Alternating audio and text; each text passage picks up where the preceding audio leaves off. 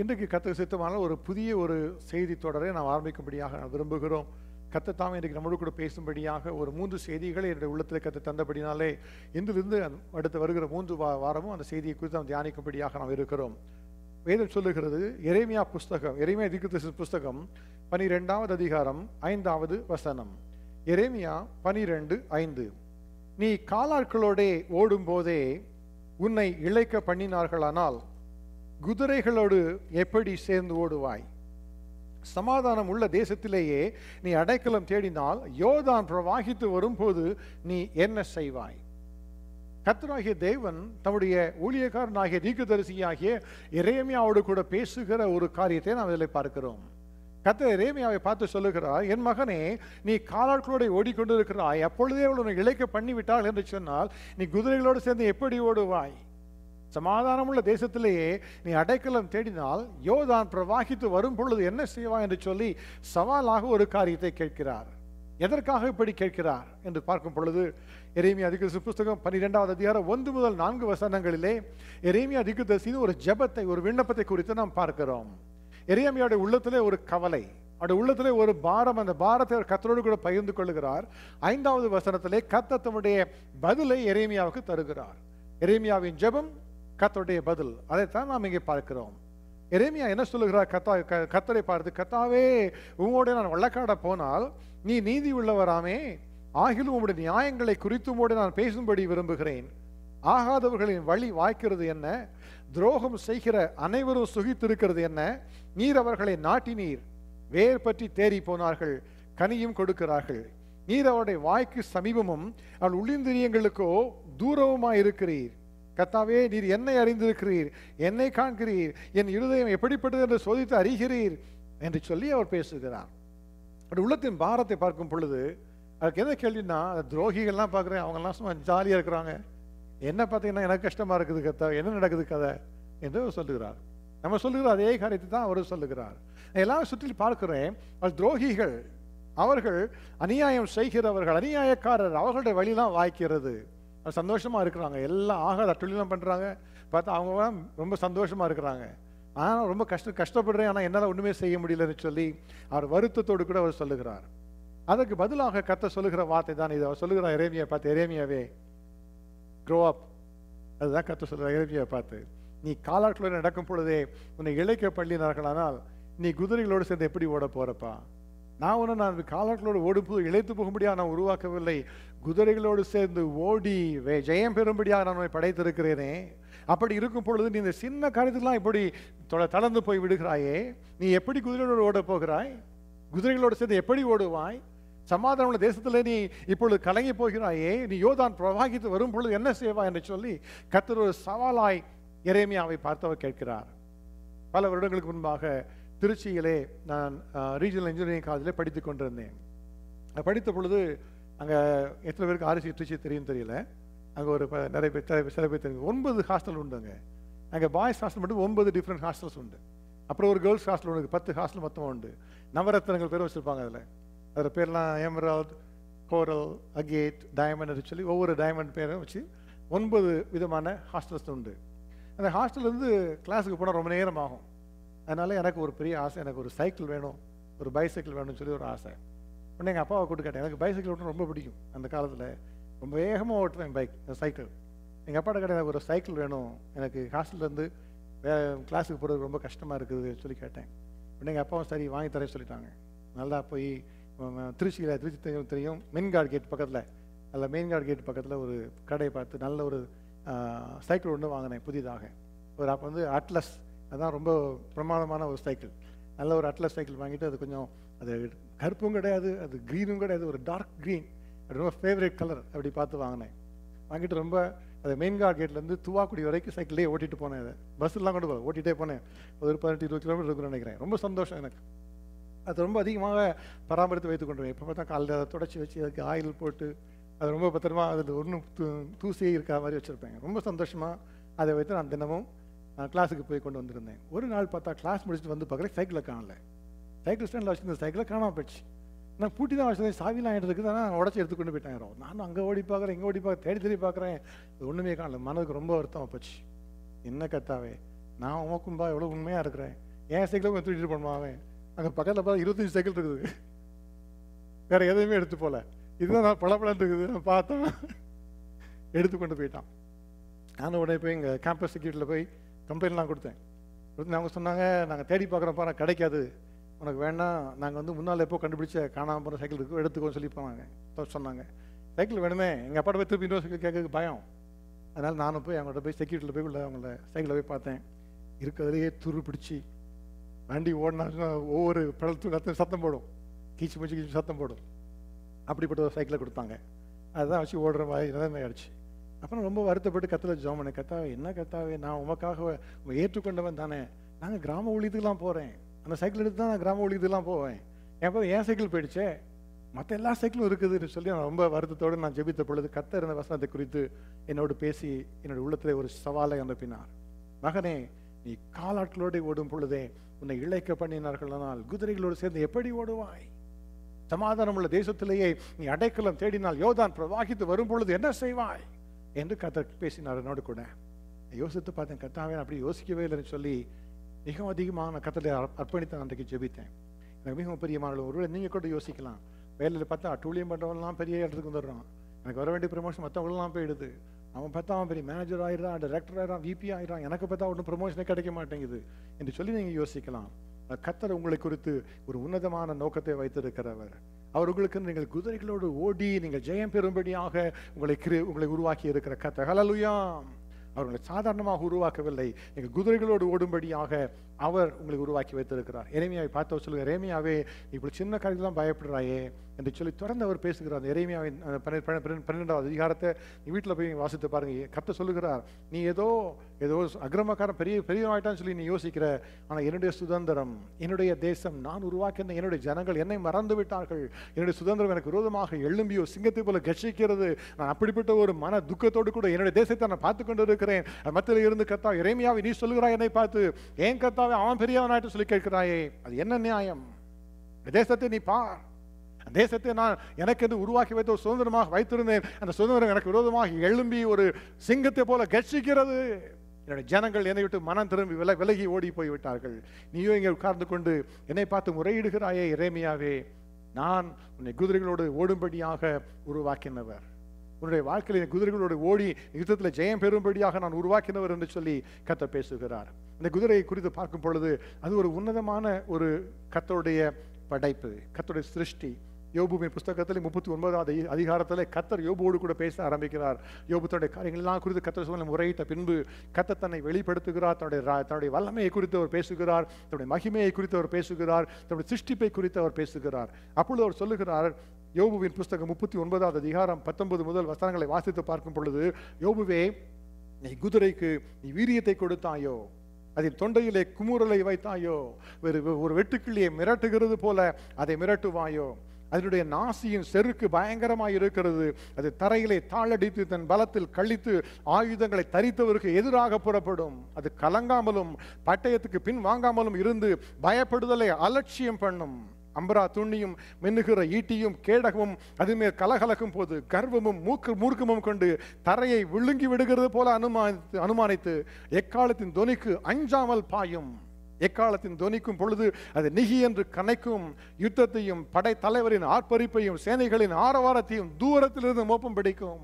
யோபுவே அதுதான் என்னுடைய படைப்பு. அதுதான் நான் படைத்த ஒரு குதிரை என்று சொல்லி கத்தர் யோபுவை பார்த்து பேசுகிறார். அல்லங்க இறைமையை பார்த்து சொல்லுகிறார் அப்படிப்பட்ட உன்னதமான ஒரு படைப்பாகிய அந்த குதிரைக்கு விரோதமாக ஓடி நீ ஜெயம் பெறும்படியாகத்தான் நான் இன்னும் உருவாக்கி இருக்கிறேன் மகன் என்று அவர் சொல்லுகிறார். ஹalleluya இன்றைக்கு உங்களுடைய ஒவ்வொருவருடைய வாழ்க்கையிலும் இன்றைக்கும் கூட குதிரைகளோடு கூட யோ ஓடி யுத்தத்தில் ஜெயம் பெறும்படியாக அந்த பந்தயத்தில் ஜெயிக்கும்படியாக கத்தர் நம்மை உருவாக்கி வைத்திருக்கிறார். அதற்காகத்தான் நம்மை அழைத்திருக்கிறார். அதை குறித்து நான் வருகிற மூன்று வாரங்கள் தியானிக்க போகிறோம். தேவா தேவா தேவன் நம்மோடு கூட பேசும்படியாக விரும்புகிறோம் ஒவ்வொருவருக்கும் நியமிக்கப்பட்ட ஒரு பந்தயம் ஒன்று உண்டு.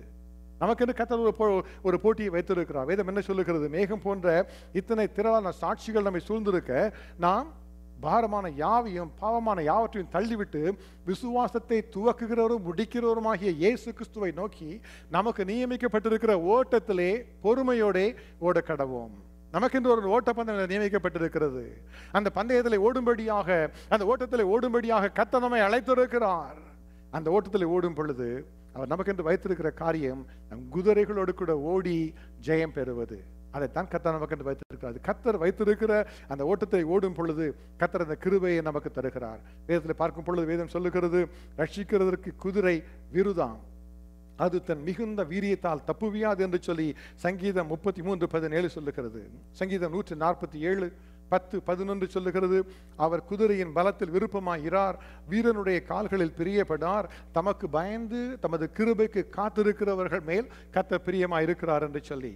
சங்கீதம் இருபது ஏழு சொல்லுகிறது சில ரதங்களை குறித்தும் சில குதிரைகளை குறித்தும் மேன்மை பாராட்டுகிறார்கள். நாங்களோ எங்கள் தேவனாகிய கத்தரின் நாமத்தை குறித்தே மேன்மை பாராட்டுவோம் என்று சொல்லி சங்கீதக்காரன் எழுதி வைத்திருக்கிறார். நீதிமொழிகள் இருபத்தி ஒன்று முப்பத்தி ஒன்று சொல்லுகிறது குதிரை யுத்த நாளுக்கு ஆயத்தமாக்கப்படும் ஆனால் ஜெயமோ கத்தரால் வரும் என்று சொல்லுகிறது. எனக்கு மிகவும் பிரியமானவர்களே அந்த குதிரை ஒரு அற்புதமான பிராணியாக கத்தர் படைத்திருந்தாலும் கூட அந்த குதிரை மேல் கத்தர் விருப்பப்படாதபடி நான் படைத்த ஒரு சாதாரணமான மனிதனை கத்தர் பார்த்து சொல்லுகிறார் நீ குதிரையை யுத்தத்திலே ஜெயம் பெறும்படியாக நான் உன்னை படைத்திருக்கிறேன் மகனே. என் மகளே நீ குதிரையோடு கூட ஓடி நீ ஜெயம் பெறும்படியாகத்தான் உன்னை அழைத்திருக்கிறேன் என்று கத்த சொல்லுகிறார். நான் சமீபத்தில் ஒரு செய்தித்தாளை படித்துக் கொண்டிருந்தேன். அக்டோபர் மாதம் இருபத்தி மூன்றாம் தேதி ரெண்டாயிரத்தி பதினேழாவது வருடம். இத்தாலிய தேசத்திலே ஒரு பெரிய மராத்தான் போட்டி நடந்து கொண்டிருந்தது. எல்லாரும் ஓடினார்கள். அநேகர் ஓடினார்கள். இதில் முதல் முறையாக அந்த இத்தாலியிலே நடந்த அந்த மராத்தானிலே அந்த இத்தாலியாவில் உள்ள இயாப் ஃபெனியல் என்கிற ஒரு ஓட்டப்பந்தய வீரர் வெற்றி பெற்று விட்டார். அவர் வெற்றி பெற்றது எல்லாருக்கும் ஒரே சந்தோஷம். ஆனால் இருபத்தி ரெண்டு வருஷமாக இத்தாலி தேசத்துக்கு அந்த பந்தயில் வெற்றியே கிடைக்கல. முதல் முறையாக இருபத்தி ரெண்டு வருஷம் கழித்து அவருடைய வீரன் வெற்றி பெற்று விட்டான். ஆனால் அவர் ஏன் வெற்றி பெறார் தெரியுமா? அவர் பந்தல் கடைசியாக வந்து இருந்தாராம். முன்னால் பார்த்தா அவங்க ஒரு இருபது பேர் போயிட்டு இருக்காங்க இந்த மரத்தானில் லீட் ரன்னர்ஸ்னு சொல்லுவாங்களே லீடிங் பேக் அதில் ஒரு இருபது பேர் போயிட்டு இருக்காங்க இவர் பார்த்தா பின்னால் வந்துட்டு இருக்காரு இருபது பேர் போயிட்டு இருக்கிறாங்க திடீர்னு பார்த்தா அவங்க தான் கைட் பண்ணி போகிற அந்த மரத்தானில் கைட் பண்ணி போகிற அந்த மோட்டர் சைக்கிளிஸ்ட் வந்து வழி தப்பிட்டான். அவர் என்ன பண்ணிட்டான்? வழியில் போக வேண்டிய போகிறதுக்கு தகி போக வேற வழியில் போயிட்டான். உடனே இந்த எல்லா லீடிங் பேக் அந்த இருபது பேரும் அந்த மோட்டர் சைக்கிளை பின்பற்றி எல்லாம் அவங்க விதித்த வழித்த விதித்த வழியை விட்டு வேற பக்கமாக போயிட்டாங்க. அங்கே ஆஃப்டர் செவரல் ஹண்ட்ரட் யார்ட்ஸ் போனப்போ தான் அவங்க நினச்சாங்க அவங்க புரிஞ்சுக்கிட்டு தான் அவங்க இது நம்ம போக வேண்டிய பந்தய பள்ளி வழி அல்ல. திரும்பி ஒன்று சொல்லி ஓடி வந்து திருப்பி வந்தாங்க. அதுக்குள்ளே பார்த்தா இவர் முன்னால் போயிட்டார். அப்படி தான் அவர் ஜெயிச்சார். அவர் ஜெயிச்சதை பார்த்தீங்கன்னா அவருக்கு இருபது பேர் வழி தப்பி போயிட்டாருனால அவர் முன்னால் வந்துட்டார். நமக்கு இந்த நியமிக்கப்பட்ட ஓட்டத்தில் நம்ம ஓடணும். அந்த ஓட்டத்தை விட்டு வழி விலகும் பொழுது நம்மளால் ஜெயம் பெற முடியாது. வேதம் என்ன சொல்லுகிறது? பௌத புசம் சொல்லுகிறார் நல்ல போராட்டத்தை போராடினேன் ஓட்டத்தை முடித்தேன் விசுவாசத்தை காத்து கொண்டேன் இது முதற்கொண்டு நீதியின் கீடம் எனக்காக வைக்கப்பட்டிருக்குன்னு அவர் சொல்லுகிறார். அப்படி சொல்லிவிட்டு அவர் எழுதும்போது அவர் சொல்லுகிறார் பந்தயத்தில் ஓடுகிறவன் எல்லாரும் ஓடுவார்கள் என்று அறியீர்களா? நான் ஒருவனே பந்தயத்தை பெறுவான். நீங்கள் பெற்றுக்கொள்ளத்தக்கதாக ஓடுங்கள். நீங்கள் பெற்றுக்கொள்ளத்தக்கதாக ஓடுங்கள். இன்றைக்கு தேவன் முதலாவதாக நமக்கு கற்றுக் கொடுக்கிற காரியம் நாம் பெற்றுக்கொள்ளத்தக்கதாக ஓட வேண்டும் என்று சொல்லி. நாம் நமக்கு வைத்திருக்கிற பந்தயத்தை விட்டு வேறொரு பந்தயத்தில் நாம் போவோம் என்று சொன்னால் வெற்றி பெற முடியாது. வேறு வழியிலே ஓடி குறுக்கு வழியிலே போய் நாம் கலந்து கலந்து கொள்ளலாம்னு சொன்னால் நாம் வெற்றி பெற முடியாது. ஆனால் தேவன் நமக்கு விரும்புகிற காரியம் குதிரைகளோடு ஓடி நேர் வழியிலே ஓடி கத்த நியமித்த பந்தயத்தில் ஓடி வெற்றி பெறும்படியாக கத்த நம்மை அழைக்கிறார். இன்றைக்கு ஒரு மனிதனை குறித்து நாம் தியானிக்க போகிறோம். இந்த மனிதன் தன்னுடைய வாழ்க்கையிலே குதிரைகளுக்கு பின்பாக ஓடினவன். குதிரைகளை தொடர்ந்து ஓடினவன். ஆனாலும் அவன் கத்த விதித்த வழியிலே அவன் போகாதபடியினாலே அவன் வெற்றியை பெற்றுக்கொள்ள முடியவில்லை. ஆகவே அந்த ஒரு மனிதனை குறித்து நாம் இன்றைக்கு தியானிக்கப் போகிறோம். அந்த மனிதனுடைய பெயர் கேயாசி என்பது. இந்த கேயாசி குதிரைகளோடு ஓடினவன் என்று சொல்லி நாம் வேதத்திலிருந்து அடித்து அறிந்து கொள்ளலாம். ரெண்டு ராஜாக்களின் புஸ்தகம் ஐந்தாவது அதிகாரம் ஒன்று முதல் இருபத்தி ஏழு வசனங்களிலே நாம் தியானம் பண்ண போகிற வேத வசனம் நமக்கு கொடுக்கப்பட்டிருக்கிறது. அல்லது குறிப்பிட்ட காரியத்தை நான் வாசித்து அதில் உங்களோட ஒரு சில காரியங்களை உங்களுக்குள்ளே பகிர்ந்து கொள்ள விரும்புகிறேன். ரெண்டு ராஜாக்கள் ஐந்தாவது அதிகாரம் ஒன்பதாவது வசனம் இருபது இருபத்தி ஒன்று வசனங்களை நான் வாசிக்கிறேன். நாகமான் தன் குதிரைகளோடும் தன் ரதத்தோடும் வந்து எலிசாவின் வாசற்படியிலே நின்றான். தேவனுடைய மனிதனாகிய எலிசாவின் வேலைக்காரனாகிய கேயாசி என்பவன் அந்த சீரியனாகிய நாகமான் கொண்டு வந்ததை என் ஆண்டவன் அவன் கையிலே வாங்காமல் அவனை விட்டுவிட்டார். நான் அவன் பிறகே ஓடி அவன் கையிலே ஏதாகிலும் வாங்குவேன் என்று கத்தருடைய ஜீவன் மேல் ஆணையிட்டு நாகமானை பின்தொடர்ந்தான். இதில் சீரிய ராஜாவை குறித்து நாம் பார்க்கிறோம். அந்த சீரிய ராஜாவுக்கு ஒரு பெரிய ஒரு படை தளபதி இருந்தான். அவனுடைய பெயர் தான் நாகமான். இந்த நாகமான் என்கிறவன் பராக்கிரமசாலியாக இருந்தான். யுத்தத்தில் ஜெயத்தை சீரியாவுக்கு கொண்டு வருகிற ஒரு படை தளபதியாக அவன் இருந்தான். ஆனாலும் கூட அவனுடைய வாழ்க்கையிலே ஒரு குறை ஒரு பிரச்சனை. என்னவென்று சொன்னால் அவன் குஷ்டரோகம் பிடித்தவனாய் இருந்தான். இஸ்ரேல் தேசத்திலே குஷ்டரோகம் பிடித்தவர்கள் யாரும் ஊருக்குள்ளே வரக்கூடாது. ஊருக்கு வெளியிலே தான் இருக்க வேண்டும். தாடியை மூடிக்கொண்டு தீட்டு தீட்டு என்று சொல்லி எப்பொழுதும் சத்தமிட வேண்டும். அவள் ஒரு கொடீரமான கொடூரமான ஒரு நோய். இந்த நாகமானுக்கு அந்த குஷ்டரோகம் வந்தபடியினாலே அவனுக்கு என்ன செய்ய தெரியாமல் திகைத்து கொண்டிருந்தான். அப்பொழுது இஸ்ரவேல் தேசத்தில் சிறைப்பிடிக்கப்பட்ட ஒரு சிறு பெண் அவனுடைய வீட்டில் வேலை செய்து கொண்டிருந்த ஒரு வேலைக்கார பெண் அவனுடைய மனைவியை பார்த்து சொல்லுகிறாள் என்னுடைய ஆண்டவன் இஸ்ரேலில் இருக்கிற தீர்க்க தரிசனத்தில் போவார் என்று சொன்னால் அவர் இவரை குணமாக்க முடியும் என்று அவர் சொல்லுகிறார். அந்த வேலைக்காரி சொன்னதை மனைவி நாகமானத்தில் சொல்ல நாகமா சிறிய ராஜாவிடத்தில் சொல்ல ரா ராஜா ஒரு பெரிய நிருபத்தை எழுதி இஸ்ரேல் தேசத்துக்கு அனுப்புகிறான் ராஜாவுக்கு இஸ்ரேல் ராஜாவுக்கு. இந்த நிருபத்தை கொண்டு வருகிற ஊழியக்காரனாகிய நாகமான் குஷ்டரோகத்திலிருந்து விடுதலை பெறும்படியாக நீர் அவனை விடுவிக்க வேண்டும் என்பதற்காக நான் அவனை அனுப்புகிறேன் என்று சொல்லி அது எழுதப்பட்டிருந்தது. இஸ்ரேல் ராஜா அதை பார்த்து நான் கையும் ஓடல காலும் ஓடல. ஒரு மனிதனை கொல்லும் உயிர் பைக்கும் நான் தேவனா? நான் எப்படி உனக்கு சுகத்தை கொடுக்க முடியும் என்று சொல்லி அவன் பதறுகிறார் பயப்படுகிறார். அப்பொழுது எலிசா தீக்குதரிசி தன்னுடைய வேலையாளர்களை அனுப்பி சொல்லுகிறார் அவன் இங்கே வரட்டும். நாகமான் இங்கே வந்து இஸ்ரவேல தேவன் உண்டு என்பதை அறிந்து கொள்ளட்டும் என்று சொல்லி அனுப்புகிறார். அப்படியாக நாகமான் வந்து தன் ரதத்தோடும் தன் குதிரைகளோடும் வந்து எலிசாவின் வீட்டு வாசற்படியில் வந்திருக்கிறார்.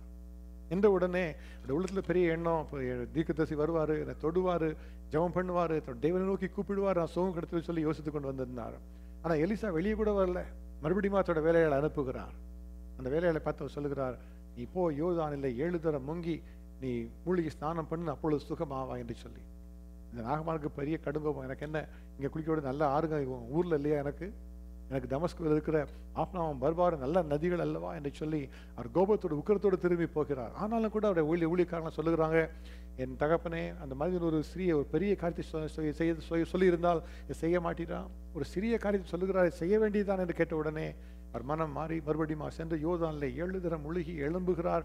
அறிவுடமான சுகத்தை பெற்றுக்கொள்ளுகிறார் பெற்ற உடனே நாகமான் மறுபடியும் திரும்பி வந்து எலிசாவுடைய பாதத்தில் விழும்படியாக வந்து அவருடைய முன்பாக வந்து வீட்டுக்குள்ளே முன்பாக நின்று கொண்டு எப்படி ஆளுநர் கையில் ஒரு காணிக்கையை வாங்கிக் கொள்ள வேண்டும் என்று சொல்லி அவர் கூப்பி கூப்பிடுகிறார். எலிசா அவரை பார்த்து ஒரு காணிக்கை கூட வாங்கவில்லை.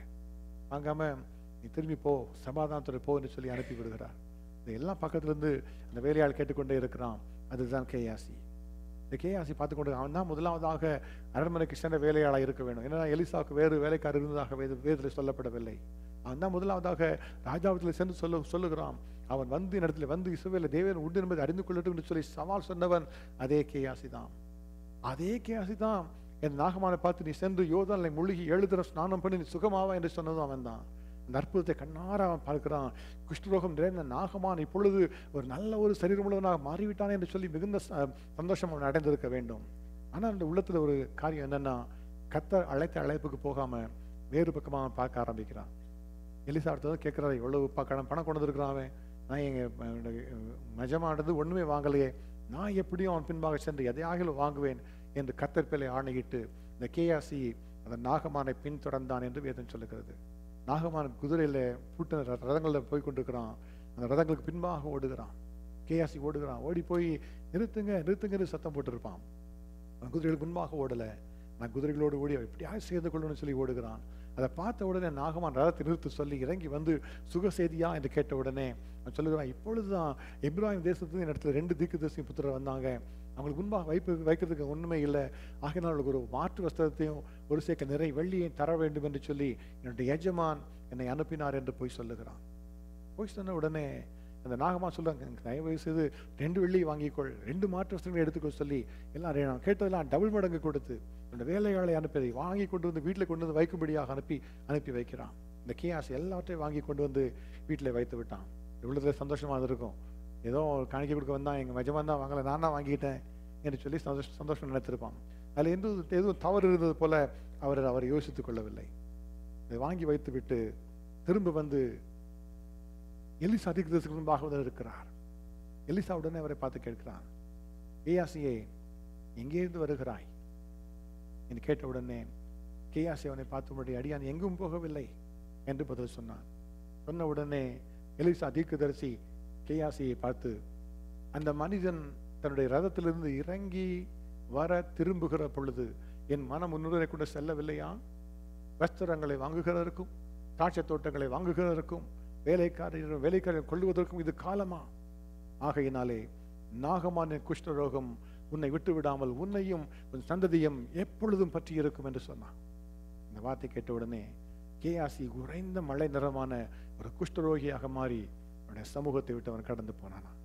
எனக்கு மிகவும் பிரியமானவர்களே கேஆசிக்கு அந்த கத்த வைத்திருந்த ஒரு திசை வேறு அவன் ஓடின திசை வேறு. அவன் வீணான ஒரு பந்தயத்தில் சென்றபடியினாலே கத்துக்கு பிரியமில்லாத ஒரு வழியிலே சென்றபடியினாலே வாழ்க்கையில் சாபத்தை பெற்றுக்கொண்டான் ஆசீர்வாதத்தை பெற்றுக்கொள்ளவில்லை. இன்றைக்கு கத்தர் உங்களோடு கூட பேசி கொண்டிருக்கிறார். என் மகனே என் மகளை நீ குதிரைகளோடு கூட ஓடி ஜெயம் பெறும்படியாக உருவாக்கப்பட்டவன் உருவாக்கப்பட்டவள். அப்படிப்பட்ட கிருபை தான் நான் உனக்கு தர விரும்புகிறேன். ஆனால் நீ நான் நியமித்த ஓட்டத்திலே நீ ஓட வேண்டும் என்று சொல்லி இந்த கேஆசிக்கு என்று எப்படிப்பட்ட காரியத்தை கத்த வைத்திருந்தா தெரியுமா? ரெண்டு ராஜாக்கள் புஸ்தகம் இரண்டாவது அதிகாரத்தை வாசித்து பார்க்கும் பொழுது இந்த கேஆசியுடைய எஜமானாகிய எலிசாவின் கதையை குறித்து நாம் வாசிக்கிறோம். எலிசாவும் கூட ஒரு நாளிலே கேஎஸ்ஐ போல வேலைக்காரர் இருந்தவர் தான். அவர் எலியா தீக்கத்தரிசியாக இருந்த பொழுது எலிசா தீக்கத்தரிசி அவருக்கு வேலைக்காரராக இருந்து அவருடைய கைகளுக்கு தண்ணீர் வார்க்கிற வேலை செய்து கொண்டிருந்தார். அவர் வேணுங்கிற கூஜா தூக்கி கொண்டு வருவார். அவர் தண்ணீரை கொடுப்பார். எல்லாத்தையும் செய்து கொண்டிருப்பார். அதுதான் அவரோட வேலையாக இருந்தது. கேஆசி இப்பொழுது அதே போல எலிசாவுக்கு ஒரு வேலைக்காரனாக இருக்கிறார். இந்த எலிசா தீக்குதரிசி எலியாவுக்கு வேலைக்காரர் இருந்த பொழுது என்ன நடந்தது தெரியுமா? கத்தர் இந்த எலியா தீக்குதரிசி எடுத்துக்கொள்ளுகிற நாள் வந்தது. எடுத்துக்கொள்கிற நாள் வந்த உடனே எலிசா தீக்குத்தரி எலியா தீக்குதரிசி எலிசாவை பார்த்து சொல்லுகிறார். எலிசாவே நீ இங்கே இரு. ரெண்டு பேரும் இருக்கிறாங்க. கில்கால இருக்கிறாங்க. கில்லாக்கால் கில்கால இருக்கும் பொழுது எலியா சொல்கிறார் எலிசாவை பார்த்து நீங்க இரு எலிசாவே. கத்தர் என்னை எரிகோ மட்டும் போக பெத்தியல் மட்டும் போக அனுப்புகிறார் என்று சொல்லுகிறார். கில்கால் சொன்னால் அது அது கேபிட்டல் சிட்டி அதுதான் கிங் கிங்டம் கிங்டமோட தலைநகரம் அதுதான். அங்க இருந்து சொல்றா சொல்ல நீங்க இருந்துக்கப்பா. இது பெரிய தலைநகரம் நல்ல பெரிய இடமா இருக்குது. நான் சும்மா அந்த சின்ன பெத்தேலுக்கு போறேன். பெத்தேல பிற ஒண்ணுமே இல்லை. பெத்தேலுக்கு போறேன். ஏன்னா நீ தலைநகர் இருந்துக்குன்னு சொல்லி அவர் சொல்லுகிறார். நீங்கள் இருந்துக்கொள். என்னை கத்த பெத்தில் விட்டு போக அனுப்புகிறாரு சொல்லி. ஆனால் எலிசாக்கு தெரிந்தது எலியாவை கத்தர் எடுத்துக்கொள்ள போகிறார் சொன்னார் இல்லை நான் உமோடு கூட வருவேன் என்று சொல்லுகிறார். ரெண்டு பேரும் சேர்ந்தபடியாக பெத்தியலுக்கு வந்தார்கள். பெத்தியலுக்கு வந்தோம் நாங்கள் தீக்கு தேசம் புத்தர்லாம் வந்து சொல்லுகிறாங்க எலிசாவை பார்த்து இன்றைக்கு உனக்கு தலைமையாக இருக்கிற ஒரு எஜமானை கத்தர் எடுத்துக்கொள்வார் என்பது உங்களுக்கு தெரியுமா எலிசாவே? என்று கேட்கிறார்கள். எலிசா சொல்கிறாருக்கு தெரியும் நீங்க சும்மா இருங்க என்று சொல்லிவிட்டு அவன் எஜமானோடு கூட இருக்கிறான் எலியா மறுபடியும் எலிசாவை பார்த்து சொல்லுகிறார் எலிசாவை நீ இங்கே இரு. கத்தர் என்னை எரிகோ மட்டும் போக அனுப்புகிறார். எரிகோ பார்த்த பயங்கரமான ஊருப்பா அது. இது இஸ்ரேல் தேசத்தில் உள்ள ஒரு ஊர்மார்க்கடை கூட கிடையாது. பயங்கரமான ஒரு சபிக்கப்பட்ட இடம் தானே அது. அதனால் நீ பெத்தேல இருந்துக்கோ. இது நல்ல இடமா இருக்குது. இது ஆராதனை செய்யக்கூடிய இடம். இங்கே இருந்துக்கோ. நான் சபிக்கப்பட்ட இடமாகி எரியோவுக்கு கத்தர் என்னை அனுப்புகிறார். ஆனால் என்னோடு கூட வர வேண்டாம் என்று அவர் சொல்லுகிறார். ஆனா எலிசா அவரை பார்த்து சொல்லுவார் அப்படி இல்லை தகப்பனே. உம்மோடு கூட வர என்று சொல்லி மறுபடியும் ரெண்டு பேரும் சேர்ந்து எரியோவுக்கு வருகிறார்கள். அங்க வந்தோடனே திருப்பி எலியா எலிசா அப்படியே காத்தி விட்டணும் அப்படின்னு பார்க்குறாரு. சொல்லுகிறார் எலிசாவின் இங்கே இரு. கத்தர் என்னை யோதானுக்கு போக அனுப்புகிறாரு போ என்று சொல்லுகிறார். மூன்றாவது இடத்துக்கு போக சொல்லுகிறார். நான் எலிசா அவரை பார்த்து சொன்ன அப்படி எங்கே போனாலும் நான் உங்களோடு கூட வருவேன் என்று சொல்லி நிஜமானை பிடித்து கொண்டார். ரெண்டு பேரும் வந்தார்கள். யோதானுக்கு வந்த உடனே எலியா தன்னுடைய சால்வையை எடுத்து முறுக்கி தண்ணீரை அடித்த உடனே தண்ணீர் ரெண்டாக பிரிந்தது. ரெண்டு பேரும் கடந்த அக்கறைக்கு வந்தார்கள். வந்த உடனே இப்பொழுது எலியா எலிசாவை பார்த்து கேட்கிறார் எலிசாவே நான் உன்னை எடுக்க விட்டு எடுக்கப்படுவதற்கு முன்பாக உனக்கு என்ன தேவை?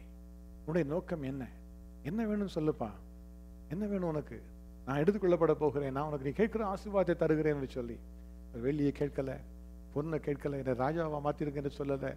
ராஜாவத்தில் போய் கொடுக்க ஒரு சிபாரிசு கடிதம் கொடுங்கன்னு அவர் கேட்கல.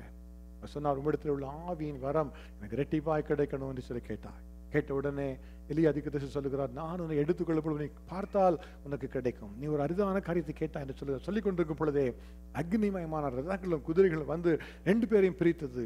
எலியா அந்த அக்னி ரதத்தில் ஏறி அவர் பல்லவத்து செல்கிறார். அதை பார்த்து எலிசா எலிசா கதறுகிறார். என் தகப்பனே என் தகப்பனே இஸ்ரோவேலுக்கு ரதமும் குதிரை விருதுமா இருந்தவரே என்று சொல்லி கதறுகிறார். கதறி விட்டு அவர் மேலே இருந்து விழுந்து சால்வை எடுத்துக்கொண்டு வருகிறார். அந்த யோதானுக்கு முன்பாக வந்து நின்று கொண்டு சால்வை முறுக்கி எடுத்து எலியாவின் தேவனாகிய கத்தர் எங்கே என்று அடித்த உடனே மறுபடியுமாக அந்த யோதா ரெண்டாக பிளந்தது. அவர் மறுபடியும் தாண்டி வந்தார். அலலுயா மிகவும் பிரியமானவர்களே எலிசா தீர்க்கதரிசிக்கு ரெண்டு மடங்கு ஒரு அபிஷேகத்தை கொடுத்தது. அவர் வேலைக்காரர் இது செய்த ஒரு தாழ்மையின் ஊழியன்தான் அதை கூட இந்த கேஆசி அறிந்திருந்தார். கத்தர் கேஆசிக்கு என்று வைத்திருந்த காரியம் நான் உனக்காக உன்னதங்களை வைத்திருக்கிறேன் மகனை என்று தான் ஆனா அந்த கேஆசிக்கு திடீரென்று ஒரு உள்ளத்துல ஒரு பண ஆசை. அந்த ஆசை வந்த உடனே எஜமானை விட்டு விட்டு வேறு வெளியிலே சென்று விடுகிறார். கத்தரை விட்டு கண்கள் திரும்பின உடனே ஒவ்வொன்றின் பின்னாக ஒன்றின் பின்னாக அவருடைய வாழ்க்கையிலே சரிவுகள் ஏற்படுத்துவதை நாம் தெளிவாய் பார்க்கலாம். அவர் குதிரைகளோடு ஓடி ஜெயம் பெரும்படியாக அழைக்கப்பட்டவர் தான் ஆனால் குதிரைகளுக்கு பின்பாக துரத்தி கொண்டு பிச்சை கேட்பதை போல ஓடுகிறார். எனக்கு மிகவும் பிரியமானவர்களே இப்பொழுது நீங்கள் நடக்கிற வழி என்ன? என்பதை கத்திர முகத்தில் ஆராய்ந்து பாருங்க. தகப்பனை நீர் வைத்திருக்கிற பாதையில நான் ஓடணும் ராஜா. நீ வைத்திருக்கிற ஓட்டத்திலே நான் ஓடி ஜெயம் பெறணும். ஒரு பவுலை போல நான் நல்ல போராட்டத்தை போராடினேன். ஓட்டத்தை முடித்தேன். விசுவாசத்தை காத்துக்கொண்டேன். இது முதற்கொண்டு நீதியின் கீழும் எனக்காக வைக்கப்பட்டிருக்கிறதுன்னு சொல்லி சொல்லணும்னு சொல்லி நீ ஜெபித்துக் கொண்டிருக்கும் பொழுது கத்தர் உங்களை ஆசீர்வதிப்பார். முதலாவதாக இந்த இந்த கேஎஸ் வாழ்க்கையில் நடந்த ஒரு நான்கு காரியங்களை நான் உங்களோடு கூட பகிர்ந்து கொண்டு நான் ஜெபிக்க விரும்புகிறேன். முதலாவது நடந்த காரியம் என்ன? அவருக்கு ஒரு பெரிய ஒரு பண ஆசை. அவர் பணத்தை பார்த்த உடனே தான் அவருடைய மனம் விலகி அவர் வேறு விதமாக பார்க்க ஆரம்பித்தார். வேதம் சொல்லுகிறது ஒன்று தீமோத்தையு ஆறாவது அதிகாரம் பத்தாவது வசனம் பண ஆசை எல்லா தீமைக்கும் வேறாய் இருக்கிறது சிலர் அதை இச்சித்து விசுவாசத்தை விட்டு வழுவி அநேக வேதனைகளாலே தங்களை உருவ குத்தி கொண்டிருக்கிறார்கள். பணம் தேவை என்பது கர்த்தருக்கு தெரியும் நன்றாக. அதே விதம் நான் சொல்லுகிறது நீதிமொழிகள் பத்தாவது அதிகாரம் இருபத்தி ரெண்டாவது வசனத்திலே கர்த்தரின் ஆசீர்வாதமே ஐஸ்வர்யத்தை தரும். அதனுடைய அவர் வேதனையை கூட்டுவதில்லை. கர்த்தர் உங்களை ஆசிர்வதிக்கும்படி விரும்புகிறார். கத்தர் எல்லாரையும் ஆசிர்வதித்து ஐஸ்வர்யவான்களாக மாற்றும்படியாகத்தான் அவர் விரும்புகிறார். வேதம் என்ன சொல்லுகிறது? கர்த்தர் அக்ரமாக்காரருடைய துன்மார்க்கருடைய பணத்தை எடுத்து அவருடைய செல்வத்தை எடுத்து அவர் நீதிமன்றங்களுக்கு என்று வைத்து வைக்கிறாராம். அவர் அப்படிப்பட்ட ஒரு தேவன். அவருக்கு எல்லாமே தெரியும். நம்முடைய தேவைகளை சந்திப்பதற்கு அவருக்கு தெரியும். நம்முடைய தேவைகள் இருக்கும் பொழுது தேவைகளை சந்திப்பதற்கு அவருக்கு எல்லாமே முடியும். ஆனால் அவரை விட்டு விலகி நாம் பணத்தையே குறிக்கோளாக வைத்து ஓடிக்கொண்டிருக்கும் பொழுது நாம் கத்தை இழந்து போய் விடுகிறோம் கத்தவை தேசத்துக்கு அழைத்து வந்திருக்கிறார். தேசத்திலே அதிகமான ஒரு ஆசீர்வாதங்களை கத்த நமக்கு தந்திருக்கிறார். நல்ல பணத்தை சம்பாதிக்கிற கிருபையை நமக்கு கத்த தந்திருக்கிறார். ஆனாலும் கூட நாம் அந்த பணத்தை சம்பாதிக்கிற கிருபையை கொடுத்த கத்தரை நாம் மறந்து விடக்கூடாது அவரே பார்த்துருக்கணும். தகப்பன எனக்கு வேலையை கொடுத்தீங்களே உமக்கு ஸ்தோத்திரம் அப்பா. ஒரு பணத்தை சம்பாதிக்கிறதுக்கு கிருபையை கொடுத்தீங்களே உமக்கு நன்றி என்று சொல்லணும். சகோதரி சொன்னாங்க இந்தியாவை நம்மளை ஆசிரிக்க கத்தரால் முடியாதா? என்று சொல்லி கத்தரால் முடியும். ஏன்னு சொல்ல கத்தர் நம்ம இங்கே ஒரு நோக்கத்துக்காக அழைத்து வந்திருக்கிறார். தேசத்துக்காக ஜெபிக்க தேசத்துக்காக திறப்பிலை நிற்க கத்த சூழலை மன்றாடி கெஞ்சி மன்றாடி தேசத்தின் ரட்சியை பார்க்கும்படியாக ஜெபிக்க கத்த கொண்டு வந்திருக்கிறார். ஆனால் ஒரு கேஆசியை போல பணத்துக்கு பின்பாக ஓடிக்கொண்டிருப்போம் என்று சொல்ல கத்தால் நம்ம ஆசீர்வதிக்கவே முடியாது. கத்தனமே பார்த்து கேட்கிறார் எந்த எந்த திசையை நோக்கி ஓடிக்கொண்டிருக்கிறாய் மகனே? என்று சொல்லி கேஆசியே நீ எங்கே இருந்து வருகிறாய்? என்று வந்த அதே கேள்விதான் இந்த நம்மிடத்தில் கத்த கேட்கிறார். ஓடி வரும் பொழுது அவரையே பார்த்து நாம் ஓடிக்கொண்டிருக்கும் பொழுது கத்த நமக்கு கிருபை தருவார். தேவாதி தேவனாகிய கத்த ஒரு பெரிய வெற்றியை இஸ்ரேல் புத்திரருக்கு கட்டளையிட்டார். யோசுவாவின் தலைமையில் வருகிறாங்க. ஒரு விசை கூட அவர்கள் இந்த யோதானை கடந்து எரியோவுக்கு விரோதமாக செல்கிறார்கள் எரிகோவை பெரிய கோட்டையா இருக்கிறது. ஆனால் கத்த பெரிய அற்புதத்தை செய்து எரிகோவை மடங்கடித்து போய் போட்டு விட்டார். ஒரு பெரிய ஒரு வெற்றி. ஆனால் அந்த வெற்றியின் நடுவிலே ஒரு மனிதன் தன்னுடைய சுதந்திரத்தை இழந்து விட்டான். எல்லாருக்கும் பெரிய வெற்றி. அந்த எரிய கோட்டை விழுந்து விட்டது. கத்த சொல்லி சொல்லியிருக்கிறான் நான் வாக்குத்தம் பண்ணப்பட்ட இந்த காண தேசத்துல கொண்டு வருவேன் என்று கத்த சொன்னார். அந்த தேசத்திலே ஒரு முதலாவதாக ஒரு பெரிய வெற்றியை கத்த தருகிறார். அந்த வெற்றியை தந்த உடனே அதை பார்த்த உடனே ஒரு மனிதனுடைய மனம் மாறிவிடுகிறது. கத்த சொல்லி இருந்தார் இந்த எரிகோ கத்தருக்கு சாபத்தீடாக இருக்கும். அதில் பார்க்குற எல்லாத்தையும் எரித்து சாம்பலாக்கி விடுங்கள் என்று சொல்லி கத்த சொல்லி இருந்தார் ஆனால் இந்த இந்த கொள்ளையிலே நேர்த்தியா இருந்த ஒரு பாவிலோன சால்வையும் ஒரு அருமையான பொன் பாலத்தையும் வெள்ளி தாளத்தையும் பார்த்து ஒரு மனிதன் ஆகான் என்கிற மனிதன் பார்த்தான். அவனுடைய மனம் மாறிவிட்டது. இது வரைக்கும் அவனுக்கு ஆசீர்வாதமே இல்லை. நாற்பது வருஷமா அவன் வனாந்தில் நடந்து வந்தவன். இவ்வளவு காணாதது வருவோம் வருவோம் சொல்லிட்டே இருந்தாங்க. வந்துட்டோம் இப்போ. வந்த உடனே முதலாவதாக கத்தர் பெரிய பெரிய வெற்றியை தந்துட்டாரு. நான் அந்த வெற்றி மத்தியில அந்த பொன்கையும் வெள்ளியையும் வஸ்திரங்களையும் எடுத்து நிச்சயத்தை எடுத்துக்கொண்டான். எடுத்துக்கொண்டு சென்று தன்னுடைய கூடாரத்தின் மத்தியிலே ஒழித்து வைத்து விட்டான் எனக்கு மிகவும் பிரியமானவர்களே வேதம் என்ன சொல்லுகிறது? கத்தர் அவனை பார்த்து பேச ஆரம்பித்தார். யோசுவா அவரை பார்த்து சொல்லுகிறார் நீ எங்களை கலங்கடித்தாயே இப்பொழுது கத்தர் உன்னை கலங்கடிப்பார் என்று சொல்லி அவனுடைய ஜீவனையே இழந்து போகும்படியாக அவன் சாபத்தை தேடி வைத்துக் கொண்டான். இன்றைக்கும் கூட கத்தர் உங்களை தேசத்துக்கு அழைத்து வந்திருக்கிறார். இந்த தேசத்தில் சில வெற்றிகளை கத்தர் உங்களுக்கு தந்திருக்கிறார். ஆனால் அந்த வெற்றிகளை தரும் பொழுது கத்தர் உங்களை சோதித்து பார்க்க உங்களுடைய இருதயம் எப்படிப்பட்டது என்று சோதித்து பார்க்கிறார். நீங்கள் பணத்தில் கத்தருக்கு முன்பாக உண்மையாக இருக்கிறீர்களோ நீங்கள் கத்தரை விட்டு விட்டு விலகி பணத்தை பின்பற்றி போய்விடுவீர்களோ என்று சொல்லி கத்தை பார்த்து கொண்டே இருக்கிறார். நாம் செய்கிற எல்லாத்தையும் கத்தை பார்த்து கொண்டிருக்கிற தேவன். நீங்களாம் சொல்லலாம் பணத்தை பற்றிலாம் ச- சபையில் பேசாதீங்க நீங்கள் சொல்லலாம். எனக்கு நீங்கள் பணத்தை தருவீர்கள் நான் பேசவில்லை. கத்த சொல்லுகிற காரியத்தை உங்களோடு கூட பகிர்ந்து கொள்ள விரும்புகிறேன். இயேசு கிறிஸ்து ஆலயத்தில் வந்தார். எல்லாரும் வந்து காணிக்கையில போட்டு போட்டு கொண்டு இருந்தாங்க இயேசு கிறிஸ்து உட்கார்ந்து எல்லாரும் காணிக்கையில் என்ன போட்டு பார்த்து கொண்டே இருந்தாராம். இனிமேலாம் பார்ப்போம்னா கையை மூடிட்டு யாருக்கும் தெரியக்கூடாது எவ்வளோ போடணும் மூடி உள்ள கூட போடுவோம் யாருக்கும் தெரியக்கூடாது. இயேசு கிறிஸ்து இன்னும் காணிக்கை பெட்டி பக்கத்தில் உட்காந்து பார்த்துட்டு இருக்கிறான் யார் போடுறாங்க? உள்ள எவ்வளோ காணிக்க போடுறாங்க? என்று சொல்லி. ஏன்னு சொன்னா நீங்கள் கொடுக்கறதுல கத்தருடைய இருதயத்தை பார்க்கிறார். நீ கத்தருக்கு இவ்வளவு கொடுக்குறீங்கன்னு சொல்லி ஏழை விதவை வந்தா ஒரு ரெண்டு காசை போட்டான். ரெண்டு காசை போட்ட உடனே இயேசு கிறிஸ்துவோட சீசனை அழைக்க அழைத்து பாருங்க பாருங்க எவ்வளவு பெரிய காணிக்க கொடுத்துட்டா என்று சொல்லி கத்தர் மெச்சி கொண்டாராம். மற்றவங்க ஒன்றும் புரியாது என்னையா எல்லாம் பெரிய பெரிய பணத்தை கொண்டு காணிக்க போடுறாங்க. ஒரு ரெண்டு துட்டை போட்டிருக்கா ரெண்டு காசு போட்டிருக்கா. அதை போட்டு இவ்வளோ மெச்சி கொள்கிறீங்களே என்ன? என்று கேட்ட உடனே கத்த சொல்லுகிறார் அவங்க எல்லாம் தன்னுடைய திரளான செல்வத்திலிருந்து ஒரு சிறு பகுதி எடுத்து போட்டாங்க. இவ்வளவு தன்னுடைய வறுமையிலிருந்து தன்னுடைய ஜீவனத்துக்கு உண்டாயது எல்லாத்தையும் போட்டு விட்டாளே என்று சொல்லி கத்த அந்த இருதயத்தை தான் பார்த்தார். நம்முடைய இருதயத்தில் என்ன இருக்கிறது? கத்தருக்கு இந்த கொடுக்கல நான் உறுதியாக இருக்கிறோமா என்பதை கத்த கவனித்து பார்க்கிற தேவனாக இருக்கிறார். இந்த கேயாசி பண ஆசையை பெற்றுக்கொண்டபடினாலே அவன் விலகி போய்விட்டான். கத்தரோட தூரமாக விலகி போய்விட்டான். எனக்கு ஞாபகம் இருக்கிறது பல வருடங்கள் முன்பாக நாங்கள் இந்த தேசத்துக்கு வந்த உடனே முதலாவதாக நாங்கள் ஒரு வீடு வாங்கும்படியாக கத்த எங்களுக்கு ஒரு கிருபையை கொடுத்தார். அது வரைக்கும் இந்த ஊரில் வீடு வாங்கினது கிடையாது அமெரிக்க தேசத்தில். எங்களுக்கு வந்து ஒரு தெய்வ மனிதர் வந்து எங்கள் வீட்டில் இருந்து ஜெபம் பண்ணும்போது சொன்னார் உங்களுக்கு வந்து கத்தர் ஒரு பெரிய வீடு தரப்போறாரு. உங்களுக்கு நல்ல ரோஸ்லாம் இருக்கும் அந்த வீட்டு முன்னால சொல்லி அவர் ஒரு தீர்க்க தரிசனமாக சொன்னார். சொன்ன உடனே எங்களுக்கு ஒரு கேள்வி அவரை பார்த்து கேட்டோம் ஜெபம் பண்ணி முடிச்சோன்னே ஐயா கத்தா வீடு தரா சொல்கிறீங்க வீடு அமெரிக்காவில் தராரா இந்தியாவில் தராரா? என்ன கேட்டோம். ஏன்னா அமெரிக்காவில் வீடு வாங்குற மாதிரி எங்களுக்கு வழியே கிடையாது. அவர்கிட்ட கேட்டோம் வீடு இந்தியாவில் கிடைக்குமா அமெரிக்காவில் கிடைக்குமான்னு கேட்டோம் அவர்கிட்ட. அவர் சொன்னார் அமெரிக்காவில் கற்று வீடு வாங்கி தர போகிறாருன்னு சொல்லி சொன்னார் என்கிட்ட. ஆனால் அதை வைத்து ஜெபித்தோம். கடைசியாக அந்த வீடு வாங்குவதற்கு எல்லாம் சேர்ந்து வந்தது. அதுக்கு ஏற்ற ச- சில பணம் அவங்களுக்கு கையில் கிடைத்தது. எங்களுக்கு அவங்களுடைய இந்த ஊரில் எப்படி நடக்கும்னு சொல்லி தெரியாது. அப்போ அதுக்குள்ளே ஒரு இந்த புரோக்கர்கிட்ட பேசும்போது ஹவுசிங் லோன் புரோக்கர்கிட்ட பேசியிருக்கும்போது இருக்கும்போது சொன்னார் ஓகே இந்த பணத்தை வந்து நீங்கள் இந்த சேவிங்ஸில் வச்சுருங்க. லோன் அப்ரூவல் வரைக்கும் வர வரைக்கும் இந்த பணத்தை எடுக்கக்கூடாது நீங்கள் எடுத்தீங்கன்னா நீங்கள் எல்லாம் ஏமாத்துங்க நினைப்பாங்க. அதனால் உங்களுக்கு லோன் கிடைக்காது. ஆனால் இந்த பணத்தை நீங்கள் அப்படியே வச்சுருங்க என்று அவர் சொன்னார். ஆனால் எங்கள்கிட்ட உள்ளத்தில் ஒரு ஒரு வாஞ்சை என்னன்னா அடுத்த நாள் ஞாயிற்றுக்கிழமை ஞாயிற்றுக்கிழமை சபைக்கு போகிறோம் சபையில் போய் அதில் பத்தில் ஒரு பாகத்தை காணிக்க போட்டு போகிறோம் டைத்து வந்து காணிக்க எழுதிட போகிறோம் அப்போ அவர்கிட்ட சொன்னேன் நான் அடுத்த வாரம் நீங்கள் வந்தீங்கன்னா இதில் வந்து ஒரு ஒன் டென்த் இருக்காது அது போயிடும் என்று சொன்னேன். அவசரம் இல்லை அப்படி பண்ணாத ஒரு ரெண்டு மாதம் வெயிட் பண்ணு. இந்த எஸ்க்ரோ முடிஞ்சு இந்த லோன் ஃபண்ட் ஆனோன்னு நீ கொடுத்துருக்க அந்த ரூபாயை.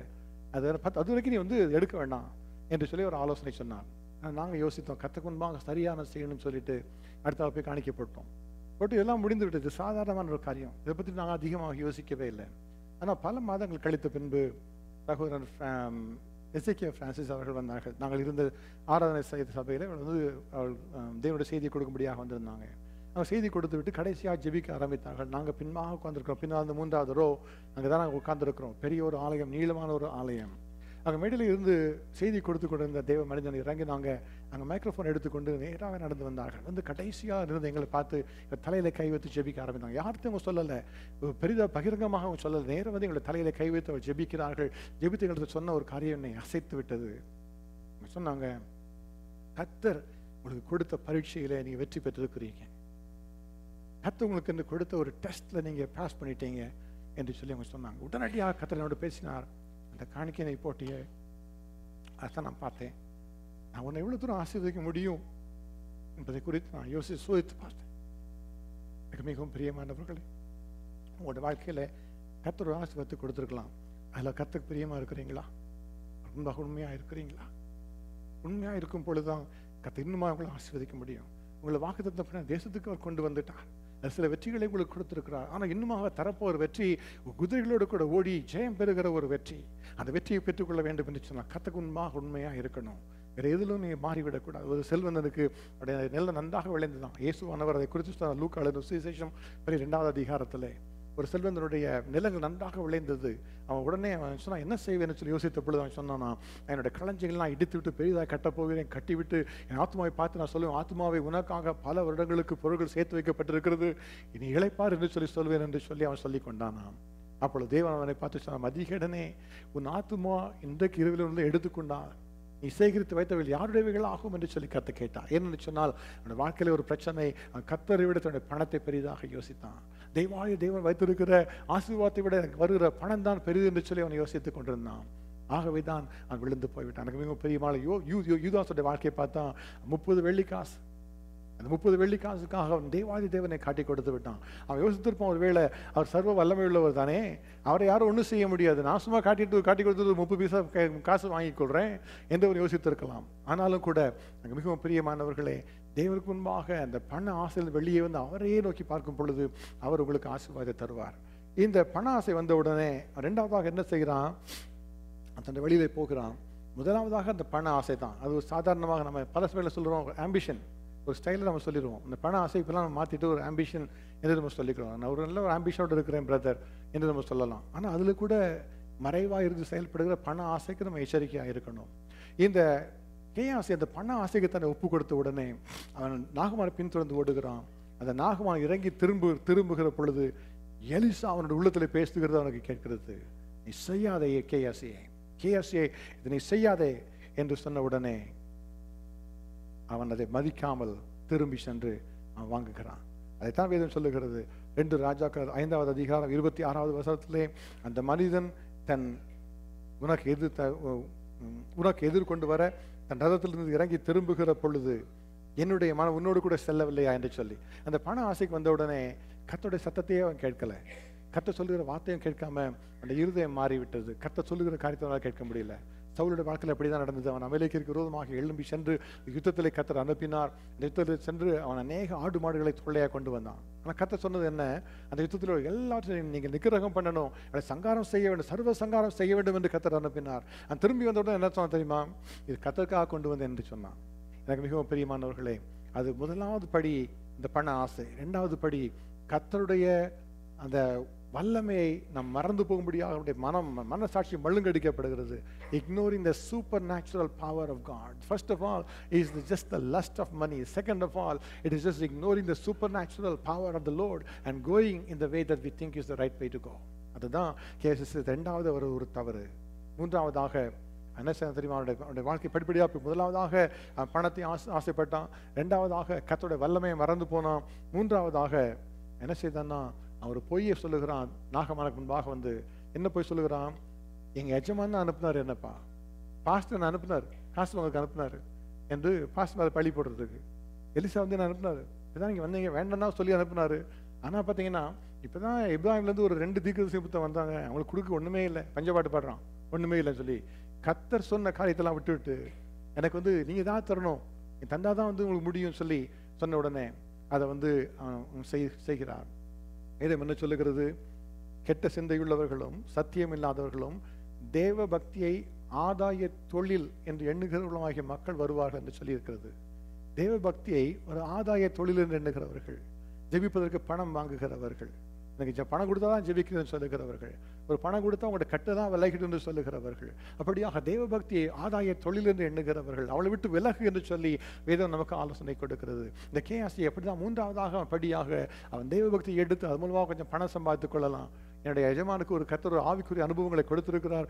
ஆவின் வரங்களை கொடுத்திருக்கிறார். அதனால ஒரு பணத்தை நான் பெற்றுக்கொள்கிறேன். என்ன பிரச்சனை என்று சொல்லி அவன் தன்னை தேற்றிக் கொண்டான் அது மறுபடியுமாக கத்தருக்கு அதிகமாக தூரமாய் போகிறான். முதலாவதாக பண ஆசை இரண்டாவதாக கத்தருடைய வல்லமையை மறந்து போகிற காரியம். நான் மூன்றாவதாக தேவனுடைய பக்தியை ஒரு ஆதாய தொழிலாக மாற்றுகிற ஒரு பழக்கம். கடைசியாக நான்காவதாக அவன் சென்று போய் சொல்லும்படியாக இருக்கிறான். கேஆசியே எங்கே இருந்து வந்தாய்? என்று கேட்ட பொழுது உமது அடியான் எங்கும் போகவில்லை. எங்கும் போகவில்லை என்று சொன்னான். அப்போ நடவடிக்கைகள் ஐந்தாவது அதிகாரம் ஒன்று முதல் பதினோரு வசனங்களை பார்க்கும் பொழுது அனனியா சபிரா என்கிற ஒரு தம்பதியரை குறித்து நாம் பார்க்கிறோம். அவர்கள் தேவனுக்கு முன்பாக பொய் சொன்னபடினாலே பரிசுத்த ஆகியானவருக்கு முன்பாக பொய் சொன்னபடினாலே அவர் ஜீவனை விட்டார்கள் என்று சொல்லி நாம் பார்க்கிறோம்.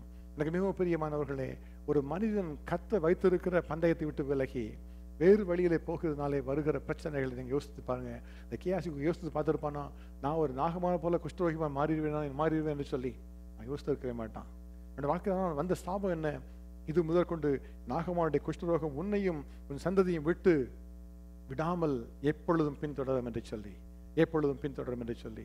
எனக்கு மிகவும் பிரியமானவர்களை கத்தர் உங்களோடு கூட பேசி கொண்டு இருக்கிறார் நீ என்னுடைய மகனாய் இருக்கிறாய் என்னுடைய மகளாய் இருக்கிறாய். நான் உனக்கு நியமிக்கப்பட்ட ஓட்டத்திலே நீ ஓட வேண்டும். நீ அதை விட்டு விலகி விடக்கூடாது மகனே. நீ உன்னுடைய வழியிலே போய்விடக்கூடாது மகளே. நான் விரும்புகிற வழியில் ப- வழியிலே மாத்திரம் தான் நான் போக வேண்டும் என்று சொல்லி அவர் சொல்லுகிறார். இன்றைக்கு அவர் சொல்லுகிறார் ஒரு கேயாசிய வாழ்க்கையை கூட நான் ஆசீர்வாதமாக மாற்ற வல்லமை உள்ளவர் என்று கத்த சொல்லுகிறார். ஏசு கிறிஸ்து சகல பாவங்களை நீக்கி நம்மை சுத்திகரிக்கிறவர் என்று சொல்லுகிறது. இயேசு கிறிஸ்து ரத்தம் எல்லா பாவங்களை நீக்கி நமக்கு சுத்திகரிக்கும். இந்த கேயாசுடைய வாழ்க்கையை நம்ம வாசித்து பார்க்கும் பொழுது அந்த ரெண்டு ராஜாக்களின் புஸ்தகத்திலே அந்த ஒரு அதிகாரத்தை விட்டு வாசித்து விட்டு அதோடு அவருடைய கதை முடிந்து விட்டு சொல்லி நம்ம யோசித்து பார்க்கவே முடியாது.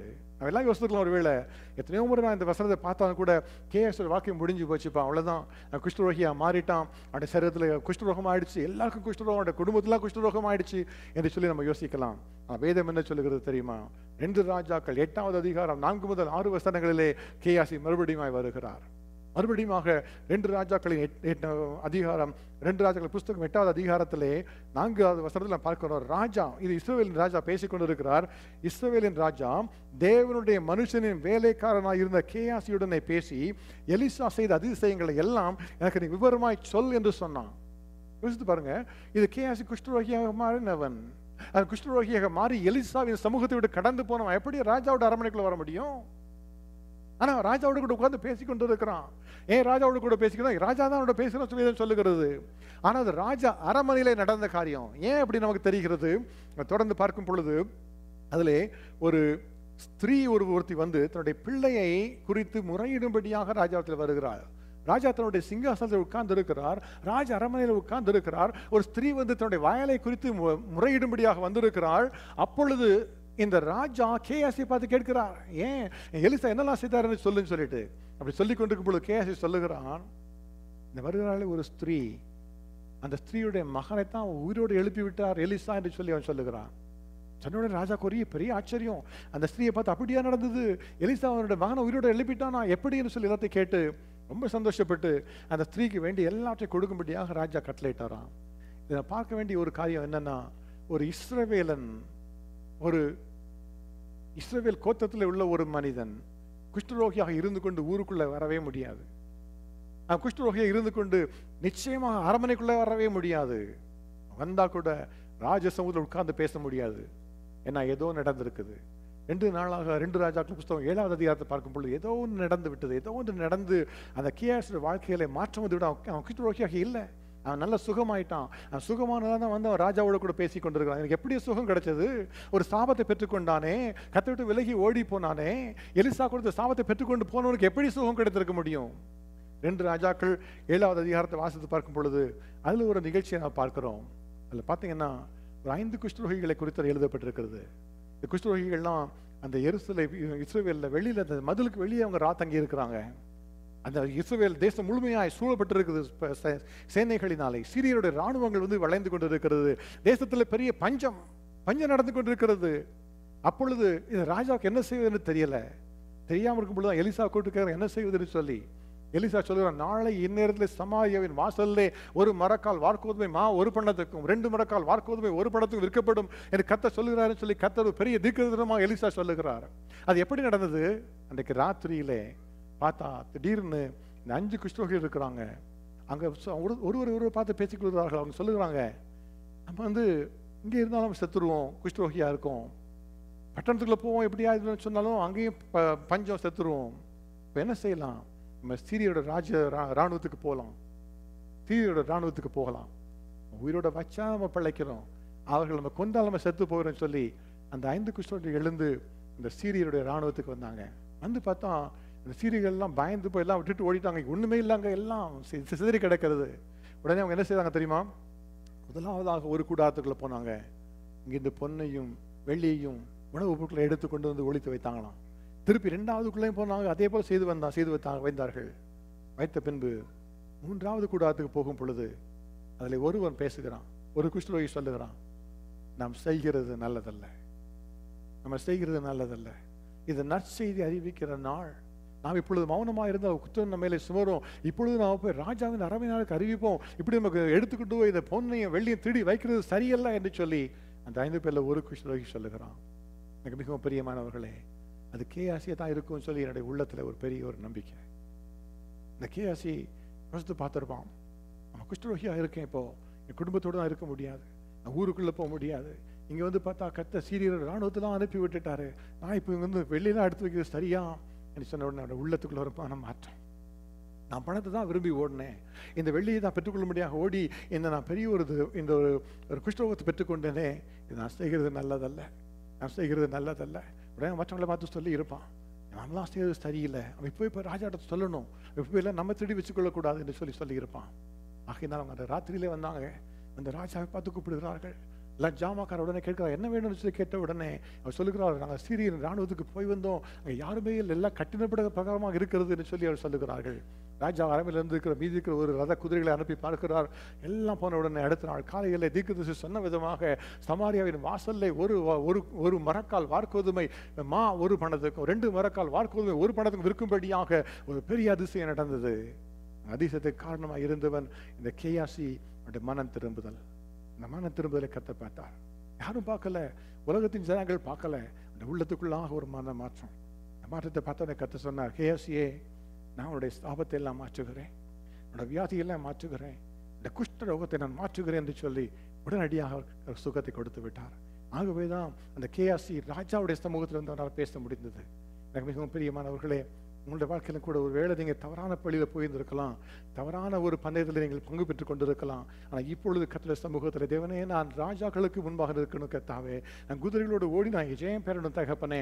அதற்காக நான் என்ன ஏற்பணிக்கிறேன்னு சொல்லி ஒப்பு கொடுக்கும் பொழுது கத்தர் உங்களோடு கூட பேசுவார். உங்களை அவர் தொடுவார். உங்களுடைய வாழ்க்கையின் குறைவுகளை அவர் மாற்றுவார். நம்ம எல்லாம் எழுந்து இருக்கலாம் எழுந்து நின்று கத்தரை நோக்கி நம்ம ஜெபிக்க போகிறோம் தகப்பனே எங்களுக்கு உதவி செய்யுங்கப்பா என்று சொல்லி நம்ம ஜெபிக்க போகிறோம் அவர் இப்பொழுது கத்தர் என்ன சொல்லுகிறார் தெரியுமா? வேதம் சொல்லுகிறது சங்கீத புஸ்தகத்தில் நூற்றி முப்பது முப்பது மூன்று நான்கு வசனங்கள் சொல்லுகிறது கத்தாவே என் அக்கிரமங்களை கவனித்திருப்பீரானால் யார் நிலை நிற்பான் ஆண்டவரே? உமக்கு பயப்படும்படிக்கு உம்மிடத்திலே மன்னிப்பு உண்டு. உமக்கு பயப்படும்படிக்கு உம்மிடத்திலே மன்னிப்பு உண்டு. கத்தர் நம்மோடு கூட பேசி கொண்டிருக்கிறார்? என் மகனே என் மகளே நீ பொல்லாத வழிகளை விட்டு எனக்கு பிரியமில்லாத எல்லா இச்சைகளை விட்டு நான் விரும்பாத வழியிலே ஓடிக்கொண்டிருக்கிறாயே அதை விட்டு மனம் திரும்பி நீ திரும்பி வரும் பொழுது நான் உனக்கு மன்னிப்பு தருகிறேன் மகனே. நான் உனக்கு மன்னிப்பு தருகிறேன் மகளே என்று சொல்லி கத்த தம்முடைய அன்போடு கூட உங்களோடு பேசிக் கொண்டிருக்கிறார். அவருடைய அன்பு இணையற்றது. தேவாதி தேவனுடைய அன்பு யாரும் வந்து எதிர்கொள்ள முடியாத ஒரு அன்பு. அதன் ஆழம் அகலம் நீளம் யாரையும் எதையும் புரிந்து கொள்ள முடியாது. அந்த அன்பை விட்டு யாரும் உங்களை பிரிக்க முடியாது. வேதம் சொல்லுகிறது கிறிஸ்துவின் அன்பை விட்டு நம்மை பிரிப்பவன் யார்? உபத்திரவமோ வியாகுலமோ துன்பமோ பசியோ நிர்வாணமோ நாசமோசமோ பட்டயமோ? இவை எல்லாவற்றிலும் நாம் நம்மில் அன்பு கூறுகிறவராலே முற்றிலும் ஜெயம் கொள்ளுகிறவர்களா இருக்கிறோமே என்று சொல்லி வேதம் சொல்லுகிறது. மரணமானாலும் ஜீவனானாலும் தேவ தூதர்களானாலும் அதிகாரங்களானாலும் வல்லமைகளானாலும் நிகழ்காரியங்களானாலும் வரும் காரியங்களானாலும் உயர்வானாலும் தாழ்வான ஆனாலும் வேறு எந்த சிருஷ்டியானாலும் நம்முடைய கத்ராகிய கிறிஸ்து இயேசுவில் உள்ள தேவனுடைய அன்பை விட்டு நம்ம பிரிக்க மாட்டாது. எனக்கு மிகவும் பெரியமான கண்களை முடியும் ஜெபிங்க. தகப்பன இந்த அன்புக்குள்ளாக நான் வருகிற ராஜா. என்னுடைய குற்றங்களை மன்னிங்க என்று சொல்லுங்க. அவரை பார்த்து சொல்லுங்க நானும் கூட தகப்பனே நான் தேவனுடைய பாவனுடைய வல்லமை மறந்து போகும்படியாக சில காரியங்களை நான் தவறி இருக்கிற கத்தாவே அந்த தவறுகளை எனக்கு மன்னிங்க. நான் மனம் திரும்பி விட சமூகத்தில் வருகிற ராஜா. ஒரு கேயாசிக்கு மன்னித்தனுடைய குறைகளை மாற்றினீரே. இந்த என்ன நீங்க தொடுங்க தகப்பனே. ஒரு குதிரைகளோட ஓடி யுத்தத்தில் ஜெயம் பெறுகிற அந்த பந்தயத்தில் ஜெயம் பெறுகிற கிருபை எனக்கு தாருங்க சொல்லி ஜெபிங்க. எல்லாம் கண்களை மூடி அவரை பார்த்து ஜெபிங்க. தகப்பனே ஸ்தோத்திரம் அப்பா. நன்றி தகப்பனே. கத்தாவைகளை கத்த கொடுக்கிற கிருபைக்காக உமக்கு ஸ்தோத்திரம் அப்பா. தகப்பனே அநேக சமயங்களை கத்தாவே கேயாசியை போல தகப்பனே நாங்களும் கூட தவறான வழிகளில் சென்று கொண்டு இருக்கிறவங்களை மன்னிங்கப்பா தகப்பனே எங்கள் வாழ்க்கையில கத்தாவை உண்மை விட்டு விலகி தகப்பனே நீர் விரும்பாத கடலை பின்தொடர்ந்து சென்று கொண்டு இருக்கிற ராஜா. எங்களை மன்னிப்பீராக. ஒரு விசை கூட மன்னிப்பீராக ராஜா. கல்வாரி சிலு ரத்தத்தாலைகளை கழுவுவீராக. இந்த எண்ணெய் கழுவும் அப்பா. என்னை அர்ப்பணிக்கிற ராஜா. ஒரு கேயாசியை போல கத்தாவே என்னுடைய வழிகளை விட்டு மறுபடியும் திரும்ப திரும்பி வரும்படியாக நான் அர்ப்பணிக்கிற ராஜாம் இது உங்களுடைய ஜெபமாக இருக்குமானால் இது உங்களுடைய ஜெபமாக இருக்குமானால் அவங்க கைகளை உயர்த்தி ஜெபியுங்கள் கத்தாவே நான் அர்ப்பணிக்கிறேன்னு சொல்லுங்க உங்களோட அர்ப்பணிப்பை கத்த பார்த்து உங்களே ஆசை God bless you God bless you God bless you God bless you God bless you God bless you God bless you God bless you all the all around the auditorium everyone who is surrendering the lord is right now holding your hands my dear brother the lord is holding your hand he is saying to not be afraid my brother he says he is gone take care of your needs என் மகளை நீ பயப்படாதே உன்னுடைய காரியம் நான் பார்த்து கொள்ளுவேன் இன்றைக்கு நான் உன்னை ஆசிர்வதிப்பேன் உன்னை சுகப்படுத்துவேன் சொல்லி கத்த சொல்லுகிறார். தகப்பனே உமக்கு ஸ்தோத்திரமப்பா தகப்பனே கைகளை உயர்த்தி அப்படித்து ஒவ்வொருவரையும் கத்தாவை ஆசிர்வதிக்கிறதற்காக உமக்கு ஸ்தோத்திரம் தகப்பனே. அப்பா ஒரு கேயாசி மனம் இறங்கி தகப்பனே. மனம் உருகி தகப்பனே. ஒரே இரவிலே மாற்றி விட்டீரே இன்றைக்கு தகப்பன பிள்ளைகளை கத்த தொடுவீராக ராஜா. பிள்ளைகளுடைய வாழ்க்கையில் இருக்கிற சாபங்கள் இயேசு கிறிஸ்துவின் நாமத்தினாலே இப்பொழுது விலகுவதாக தகப்பனே. கத்தாவை நீர் விதித்த வழிகளை விட்டு நீங்கள் காண்பித்த வழிகளை விட்டு கத்தாவே வேறு வழிகளை சென்றாலும் கூட இன்றைக்கு நான் மறுபடியும் வருகிறோம். உடைய சமூகத்துக்கு வருகிறோம் சொல்லி அர்ப்பணித்திருக்கிறார்களே. கத்த தொடுவீராக ராஜா. ஏசு கிறிஸ்துவின் நாமத்தினால் இப்பொழுது கத்தாவே கூட வந்து ராஜா. அவர்களை ஆசிர்வதிப்பீராக. கத்தவர்களை எதற்காக அழைத்தீரோ அந்த காரியத்தை கத்த செய்து தருவீராக ராஜா. இதுவரைக்கும் பார்த்து பார்த்த ஆசீர்வாதம் கொஞ்சம் தகப்பனே. இன்னும் வருகிற நாட்களில் கொடுக்க போகிற வல்லமைகள் கொடுக்க போகிற ஆசீர்வாதங்கள் கொடுக்க போகிற வரங்கள் ஏராளம் ராஜா. கத்தரப்படி செய்வீராக. கத்தரப்படி செய்வீராக ராஜா. உள்ளத்தின் பாரங்கள் எல்லாத்தையும் கத்தர் இன்றைக்கு மாற்றி விடுவீராக ஏசு கிறிஸ்துவின் நாமத்தினாலே இப்பொழுது கத்தாவை தேவனுடைய கிருபை இறங்கி வந்ததற்காக உமக்கு நன்றி ராஜா. உமக்கு ஸ்தோத்திரம் உமக்கு ஸ்தோத்திரம் உமக்கு ஸ்தோத்திரம். எல்லாம் கைகளை மார்பிலே நம்முடைய இருதயத்தில் வைத்துக்கொண்டு தகப்பனே உமக்கு ஸ்தோத்திரம் அப்பா. என்னுடைய ஜெபத்தை கேட்டீரே உமக்கு நன்றி என்று சொல்லுங்க. தகப்பனே என்னுடைய ஜெபத்தை கேட்டு எனக்கு இறங்கினீரே உமக்கு நன்றி தகப்பனே என்று சொல்லுங்க. என்னுடைய வாழ்க்கையில கத்தாவே என்னுடைய பாவங்களை மன்னித்தீரே உமக்கு ஸ்தோத்திரம் அப்பா. தகப்பனுடைய குறைவுகளை மாற்றினீரே உமக்கு நன்றி தகப்பனே. எனக்கு சுகத்தை தந்தீங்களே உமக்கு நன்றி தகப்பனே என்னுடைய சம்பாத்தியத்தை ஆசீர்வதித்து தருகிறீங்களே அதற்காக உமக்கு ஸ்தோத்திரம் அப்பா. இன்று முதற்கொண்டு தகப்பனே குறைவில்லாத ஆசீர்வாதத்தை எனக்கு தரப்போகிறதற்காக உமக்கு ஸ்தோத்திரம் தகப்பனே. ராஜாதி ராஜாவே அப்பா யாரும் பார்க்க முடியாதபடியா கத்தாவே சமாரியாவின் பஞ்சத்தை ஒரு இரவரை தீர்த்து வைத்தவர் நீர் அல்லவா? அப்படியா கத்து இன்றைக்கு என்னுடைய பஞ்சங்களை தீர்த்து வைக்கிறதற்காக உமக்கு ஸ்தோத்திரம் ஆசீர்வாதங்களுக்காக உமக்கு நன்றி தகப்பனே. Father we thank you lord தகப்பனே நாங்கள் உமக்கு நன்றி சொல்லுகிறோம் ராஜா. இப்படி பிள்ளைகள் ஒவ்வொருவரை கத்த அணைத்துக் கொள்ளுவீராக. ஒவ்வொருவரை கத்த ஆசிர்வதிப்பீராக. கத்த செய்கிறதற்காக உமக்கே ஸ்தோதிரம் ஏசு கிறிஸ்துவின் நாமத்தில் பிதாவே ஆமே நாம் உட்காரலாம்.